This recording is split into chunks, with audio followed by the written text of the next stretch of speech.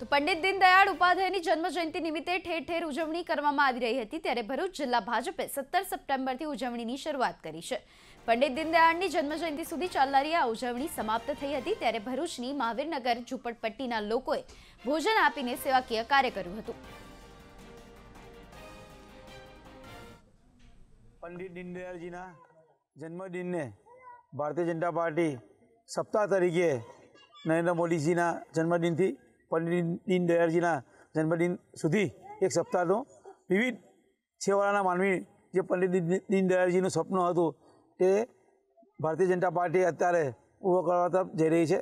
આજે પણ ward number ત્રણના મહાવીર ઝુંપડપટ્ટીમાં છેવાડાના માનવી સુધી ભારતીય જનતા પાર્ટી લોક ઉપયોગી અને સેવાકીય કાર્ય કરવા માટે અહીંયા ઉપસ્થિત થયા છે ત્યારે.